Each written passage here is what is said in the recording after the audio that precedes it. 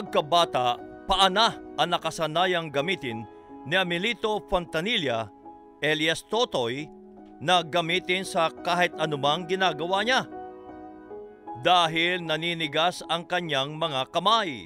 Idudukawin ko dito yung pangalan na ating idol, kabayan. Pag nandito ba ako sa bahay, painting, ang ginagamit ng mga normal, ginagawa ko din po. Ang gamit ko naman po ay paa. Nag-aaral ka? Opo. Hindi ka naman nahihirapan sa mga recitation, pag tinatawag ka, gano'n? Ah, hindi na po. Hindi naman. Oh, malinaw naman nakakapagsalita ka, di ba? Opo. Oh, paano yung pagsulat mo? Paa po. Paa. Opo. Pag may kinokopy ka sa blackboard, paa talagang ginagamit mo. Hindi po, hindi pa ako punya po. Hindi pa ako pinapasok sa board. Hindi. Kasi hindi pwede ka sumulat sa blackboard, ano? Opo. Ganun ka, mataas ang blackboard. hindi kaya. Hindi kaya po. Sa pagsa-cellphone, sa pagsasat.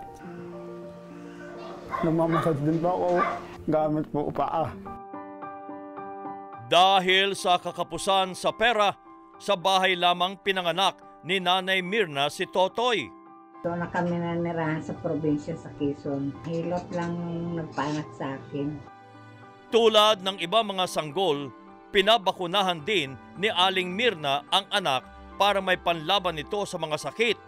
Pero naging masakitin pa rin si Totoy at madalas na kinukumbulsyon. Lumabas siya, may yellowish. Ano yun? Yung madilaw yung ano niya dati, balat. Parang palambot-lambot siya. Nga ilang taon na siya, hindi pa nakakatayo. Tapos napansin namin, naging sakitin. Isang linggo, maigi. Tapos yung nakukumbulsyon. Tapos yung hindi pa siya na dala sa ospital, siyempre yung budget wala. Lagi po namin inaano sa ng asawa ko sa ano, yung sa dagat Hmm, para? para maano yung mga ugat. Oo. Nililibing yung paa niya hanggang Ah, dyan. Opo, para maanuhan siya ng alat, Pangalat. Yung mga ano niya. Opo, maliliit yung mga binti nito dati. Pitong taong gulang si Totoy nang malaman nila ang tunay niyang kondisyon. Ang sabi ng doktor, cerebral palsy, pero yung katawan niya medyo naninigas, pero normal yung isip. Eh, 25 na siya eh. Opo, yung ano na lang sa kanya, ganyan na talaga siguro yun. lang. oh. Ipinatherapy ko na rin po yan eh. Madalas na hindi sumasapat sa pamilya ang kita ng ama ni Totoy na isang construction worker. Gayunman, suportado siya ng kanyang mga magulang sa kanyang mga pangarap. Hindi ba siya nahirapan sa eskwela ho? Ano po yun, medyo mataas, walang elevator, inaakyat lang namin yan. Parang building, exercise, mataas, opo. Tapos ngayon nang nasa high school na siya, Oh, in open high school na siya ngayon. ngayon, online, Opo. online. Pa, inapasa na lang yung exam niya doon sa school. Hindi maiwasan na makaranas si Totoy ng pambubuli. Dapat po, hindi mo na kang siya pansinin. Ingitian mo na kang siya. May time din po ako nagalit sa kanila. Nung karaan, sabi ko, huwag niyo akong burihin. Ibabalik nila sa inyo lahat nila dyan. Ayun, doon, doon sila, ah, nagbago sila ng isip. Ayun na, naayos na sila.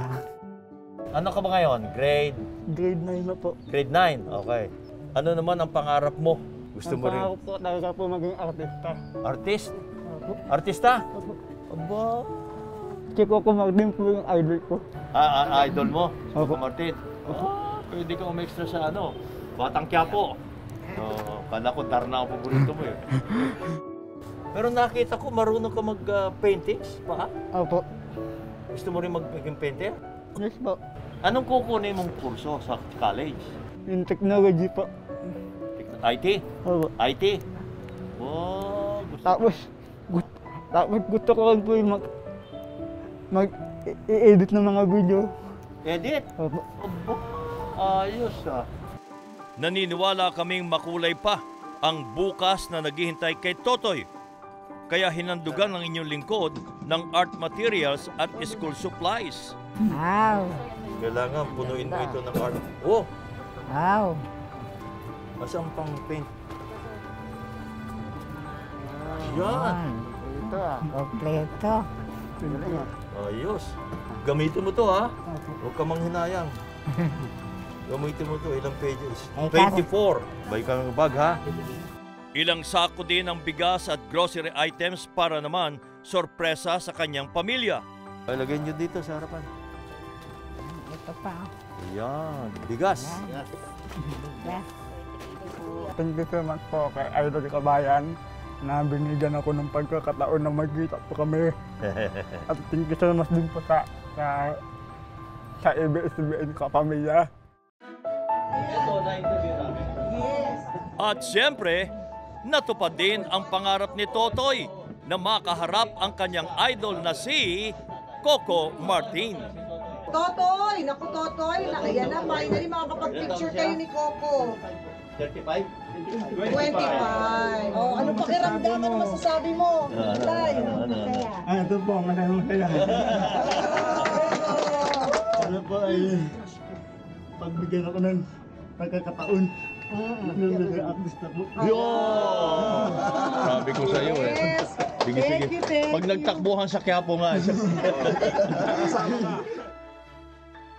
Tunay na nakakabilib ang mga katulad ni Totoy na patuloy na kinukulayan ang buhay sa kabila ng mga pagsubok.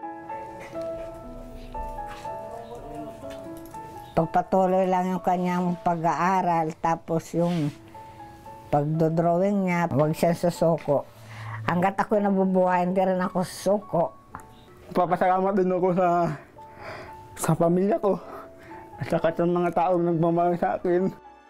Nabalingan po tayo para sa sarili natin, kabutihan